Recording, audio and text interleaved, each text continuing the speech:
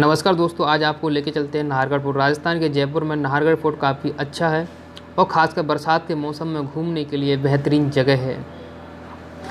Nahargarh fort जाने के लिए आपके दो रास्ते जाते हैं, एक सिटी के अंदर से है, दूसरा सिटी के बाहर से ये सिटी के अंदर वाले रास्ते से हम जा रहे हैं। ये रास्ता आपको Chandpol Sindhi camp bus stand आपने देखा होगा। जी हाँ ज़रूर देखा होगा। तो सिंधी कैम्प के पास में जो चांदपोल है, वहाँ चांदपोल से होते हुए ये रास्ता जाता है। काफ़ी ढलान नुमा है स्लोप नुमा है, बहुत सारे एक्सीडेंट होते रहते हैं, मगर आपको होशियारी के साथ में, आपको सावधानी के साथ में जाना होगा, क्योंकि कहते हैं ना, सावधानी हटी, दुर्घटना घटी। अगर आप बाइक से जा रहे हो टू व्हीलर व्हीकल से जा रहे हो तो ध्यान रखिए, दो से ज़्यादा सवारी ना बिठाएँ, और अपना जो फोकस है, वो रास्ते पर रखें, क्योंकि तो रास्ता काफ़ी घुमावदार भी है और ऊँचा भी है। ये तमाम जो कॉलोनियाँ हैं, तमाम बस्ती जो हैं छोटे छोटे आपको घरौंदे जैसे घर जो दिखाई दे रहे हैं, ये नीचे की कॉलोनी है तो चांदपोल के आसपास के एरिया, ये लगभग आधा आपको जयपुर दिख जाता है यहाँ से, और ऊपर से आधा जयपुर और मतलब ऊपर जाने के बाद में आप पूरा का पूरा जयपुर देख सकते हो। ये देखिए हमारे साथ में, हमारे साथ में चल रहे हैं, मलकी जी इनका नाम है, स्कूटी पे हैं, अभी वापस से आपको दिखाएँगे। और यहाँ से बरसात के मौसम में फ़ोटोज लेने का तो अलग ही लुत्फ है। अगर आप बरसात के मौसम में नाहरगढ़ फोर्ट नहीं घूमने जा रहे हो तो आप जयपुर की जो हरियाली है, उसका मज़ा नहीं ले पा रहे लुप्त नहीं ले पा रहे हो। काफ़ी बेहतरीन दृश्य होता है, यहाँ से जाने का मन तक नहीं करता है। ये लगभग एक किलोमीटर की स्लोप है। ये हम ऊपर आ चुके हैं। अभी यहाँ पे बोर्ड लगा हुआ है, नारगढ़ के लिए अभी आपको दिखाते हैं वापस से आगे। तमाम हरियाली नुमा है, वन जैसा आपको दिखेगा, लेकिन बहुत ही अति सुंदर पीसफुल है। काफ़ी शांति प्रिय एरियाज़ है ये।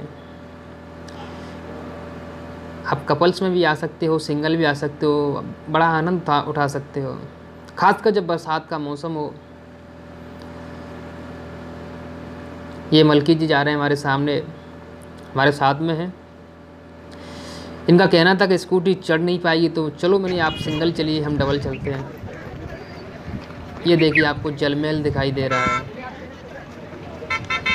भान यहाँ नाहरगढ़ से ऊपर से अगर आप देखोगे तो आपको जलमेल बिल्कुल साफ़ दिखाई देता है। यहाँ से दो से ढाई किलोमीटर नीचे एक तालाब, सरोवर है छोटा सा, दो ढाई किलोमीटर बैठेगा काफ़ी ढलान में है और काफ़ी, जाते समय बहुत परेशान हो जाती है सारे लोग वहीं जा रहे हैं। ये जंगल के अंदर से होते हुए गया है। अगर आप इधर जा रहे हो तो थोड़ा जल्दी जाइए, क्योंकि उधर से आने में बहुत थकान हो जाती है और लेट भी हो जाता है। ये गढ़ गणेशम मंदिर है। यहाँ से भी जयपुर का बहुत अच्छा नज़ारा दिखाई देता है।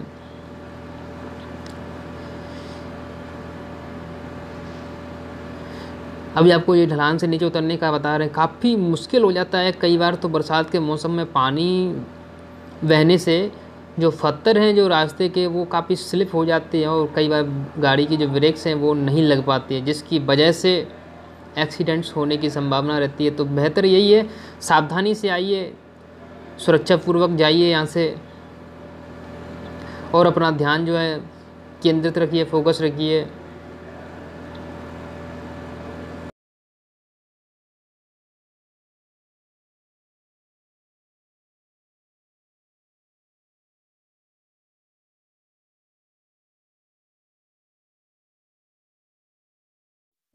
दोस्तों, वीडियो देखने के लिए आपका बहुत बहुत धन्यवाद। वीडियो को शेयर करिए और लाइक करिए अगर अच्छा लगा हो तो कम वो देखा था आपका वीडियो मैंने यूट्यूब पर, वो डेटा एंट्री वाले के लिए।